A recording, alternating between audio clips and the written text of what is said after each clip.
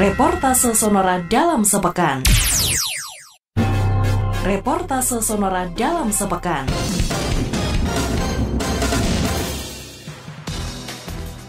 Sahabat Sonora, Senin lalu, pemerintah kota Surabaya telah mulai memasang alat atau konverter kit bahan bakar gas pada 83 mobil operasional secara bertahap hingga akhir Oktober dari hasil hibah dari Kementerian Lingkungan Hidup. Dikatakan oleh Nur Umariyati, Kepala Bagian Layanan Pengadaan dan Pengelolaan Aset Kota Surabaya, bahwa hal itu dilakukan sebagai tindak lanjut arahan dari Kementerian Lingkungan Hidup dan Kehutanan Republik Indonesia. Menurutnya, konverter kit dipasang pada kendaraan keluaran di atas tahun 2010 berbahan bakar bensin seperti X mobil dinas hasil pengembalian dari DPRD Surabaya sebanyak 33 unit termasuk pada mobil pengadaan tahun 2017 sebanyak 50 unit selain 25 unit mobil dinas Pemkot yang sebelumnya sudah dilengkapi konverter kit.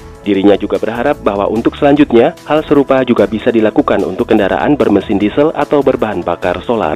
Jadi untuk mobil pemerintah kota Surabaya di pengadaan di 2010 ke atas, kemudian yang berbahan bakar bensin itu bisa dipasangkan konverter kit BBG sehingga bisa ramah lingkungan, kemudian bisa menghemat karena dari per liter kan 7.500, kemudian kalau BBG ini kita hemat per liter itu 3.000 rupiah. Tahun ini kita pasangkan 83 unit. Sekarang hukumnya wajib mobil operasional berbahan bakar bensin, kemudian di atas tahun 2010 itu semuanya menggunakan bahan bakar gas melalui konverter kit ini.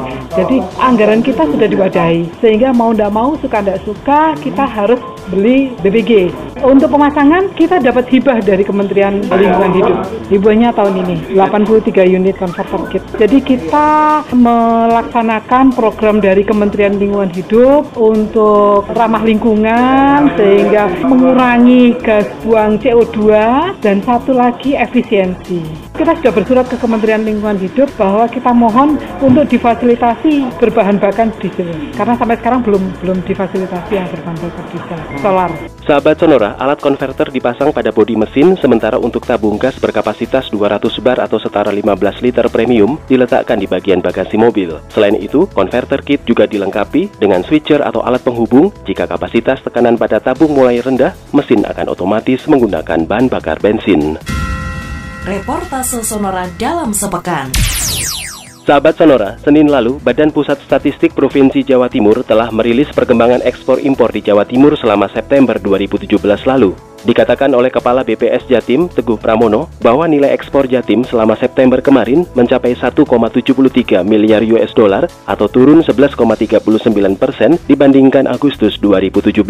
Namun, bila dibandingkan dengan September 2016, nilai ekspor pada bulan ini naik 21,83 persen. Ekspor non-migas September 2017 mencapai 1,62 miliar US dollar atau turun 12,07 persen dibandingkan Agustus 2017, termasuk jika dibanding September 2016 turun 18,89 persen. Sementara itu, ekspor migas mencapai 0,10 miliar US dollar, naik 1,04 persen dibanding bulan lalu, juga mengalami kenaikan 3,70 persen jika dibandingkan September 2016. Nilai ekspor Jawa Timur pada September 2017 mencapai 1,73 miliar Posisi 1,73 miliar dolar ini kalau dibandingkan dengan Agustus mengalami penurunan sebesar 11,39 persen. Di Agustus nilainya adalah 1,94 miliar dolar dan sekarang hanya 1,73 ekspor yang menurun 11,39 persen itu ternyata adalah penurunan yang besar terjadi di ekspor non migas. Sementara ekspor migas kita mengalami kenaikan sedikit yaitu sebesar 1,04 persen dari 0,102 miliar dolar Amerika menjadi 0,103 miliar dolar Amerika. Jadi migasnya mengalami kenaikan sedikit tetapi non migasnya kita mengalami penurunan lumayan besar 12,07 persen dari 1,84 miliar dolar menjadi 1,62 miliar dolar. Sahabat Sonora, untuk nilai impor Jawa Timur selama September 2017 naik 6,50 persen dari Agustus 2017 mencapai 1,88 miliar US dollar, termasuk jika dibandingkan September tahun lalu naik 25,33 persen. Sementara untuk nilai impor non migas mengalami penurunan sebesar 1,99 persen dari Agustus tahun ini, namun jika dibanding September tahun lalu naik 9,28 persen. Mesin dan peralatan mekanis termasuk besi dan baja masuk dalam golongan impor non-migas terbesar selama September dibanding Agustus tahun ini. Sementara untuk perhiasan, permata, serta tembaga, berikut lemak dan minyak hewan nabati masih menjadi komoditas utama ekspor non-migas selama September 2017, baik dari atau ke beberapa negara di luar negeri, mulai Jepang, Amerika, Tiongkok, Australia, ASEAN, dan Uni Eropa. Reportase Sonora dalam sepekan. Reportase Sonora dalam sepekan.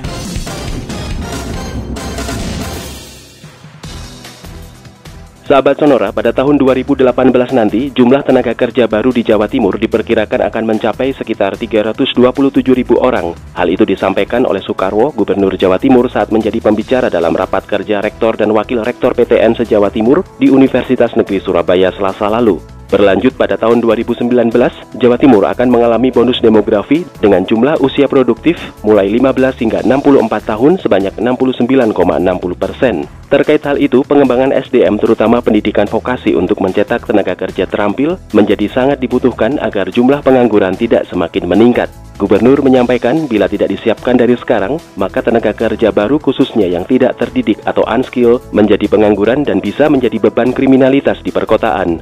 Selain itu, dari 1.663 SMK swasta di Jawa Timur, sebanyak 1.290 SMK belum bersertifikat, sehingga keberadaan PTN diharapkan mampu memberi pelatihan bagi para guru SMK untuk meningkatkan standar kelulusan menjadi standar internasional. Menurutnya, beberapa kerjasama dengan PTN di antaranya di bidang kesehatan, seperti pelatihan bagi bidan agar bisa belajar sesuatu yang unik seperti akupuntur dan bisa dikembangkan pada tataran internasional. Selain itu, Pemprov Jatim juga mengembangkan pendidikan program vokasi yang memiliki konsep link and match bagi pelaku industri dengan SMK, mulai program magang SMK di beberapa minimarket, serta pelatihan guru SMK bidang kelistrikan yang bekerja sama dengan pembangkitan Jawa Bali, termasuk kerjasama melalui Samsung Tech Institute untuk 20 SMK di Jawa Timur dan kerjasama dengan 29 perusahaan Jerman. Reportase Sonora dalam sepekan.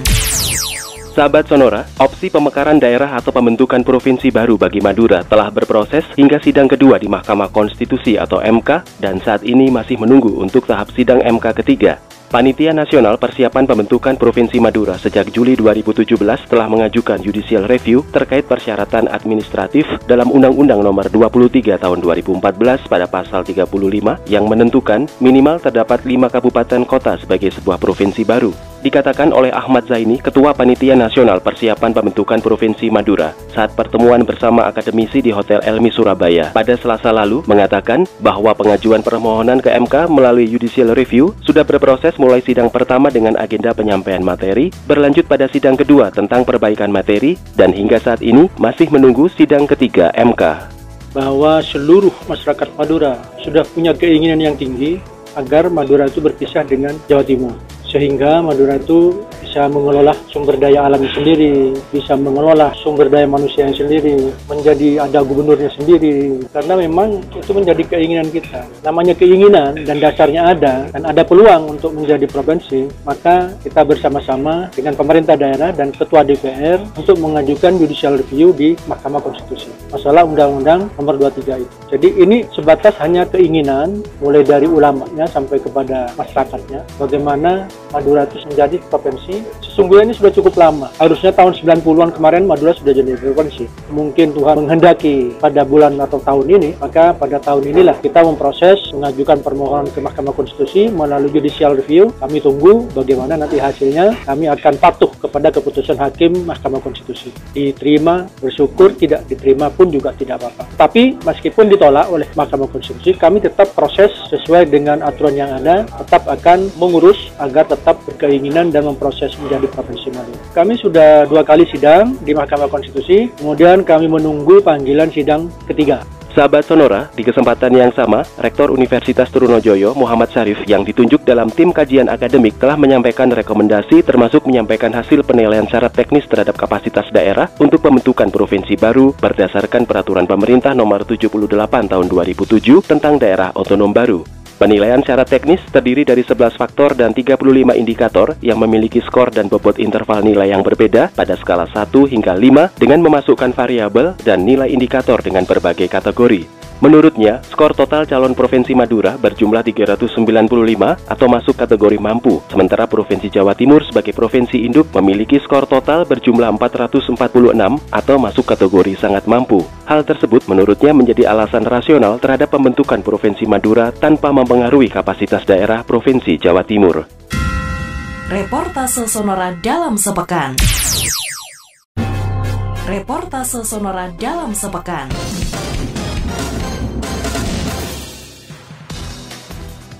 Sahabat Sonora, Kelurahan Sidodadi dan Simolawang Surabaya terpilih sebagai pilot project atau percontohan kegiatan Posyandu Pintar yang merupakan program untuk peningkatan kapasitas kader Posyandu selain di Jakarta dan Pontianak secara nasional. Dikatakan oleh Dr. Yoselina, manajer pos pintar project dari Wahana Visi Indonesia, saat acara pelatihan dan temu kader di Hotel Arkadia Surabaya bagi 200 orang kader posyandu dari dua kelurahan Surabaya yang terpilih selasa lalu, bahwa program ini menjadi inisiasi penguatan posyandu melalui peningkatan kapasitas para kader untuk melakukan pemantauan tumbuh kembang dan konseling gizi yang lebih berkualitas selain kegiatan pendampingan dan volunteer termasuk mengenalkan aplikasi M Posyandu melalui telepon pintar. Kegiatan ini adalah kegiatan kerjasama Wahana Visi Indonesia yang didukung oleh PT HSBC Indonesia lewat yang namanya program Pos Pintar. Program Pos Pintar ini adalah program penguatan posyandu yang sudah berlangsung selama satu tahun, melakukan assessment penguatan kepada kader dan evaluasi gitu terhadap kinerja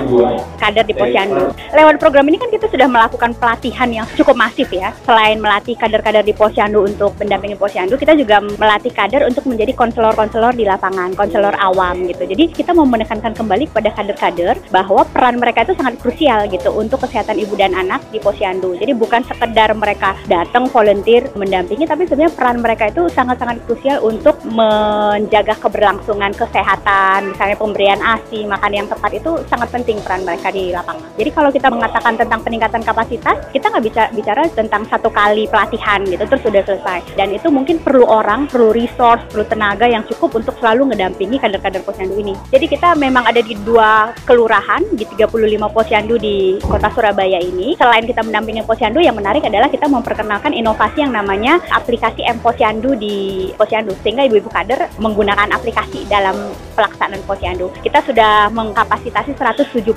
orang kader di 35 posyandu itu ya di dua kelurahan Sidodadi sama Simolawang. Untuk program ini spesifiknya ada di tiga kota, jadi Jakarta, Surabaya, dan Pontianak sebagai tempat untuk mempilotkan proyek ini.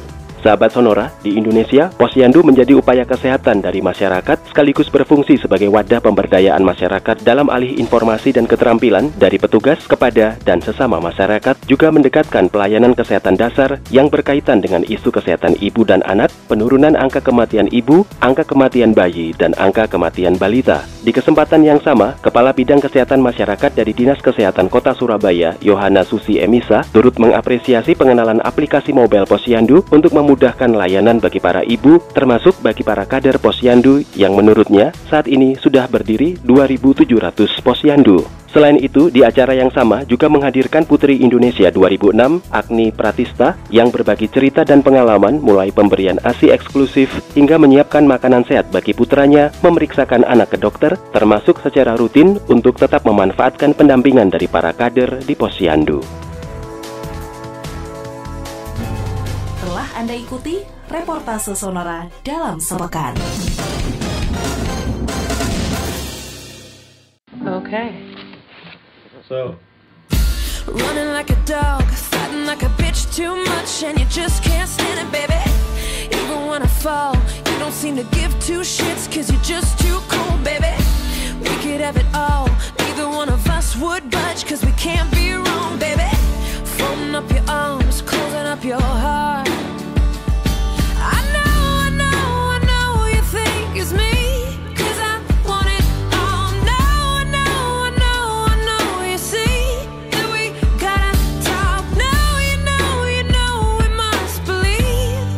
or fall apart.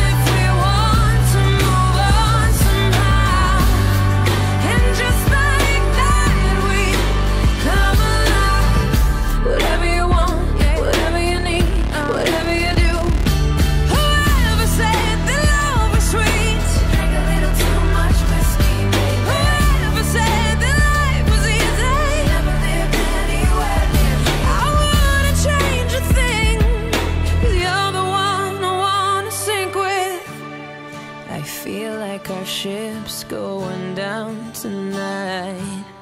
But it's always darkest before the light, and that's enough.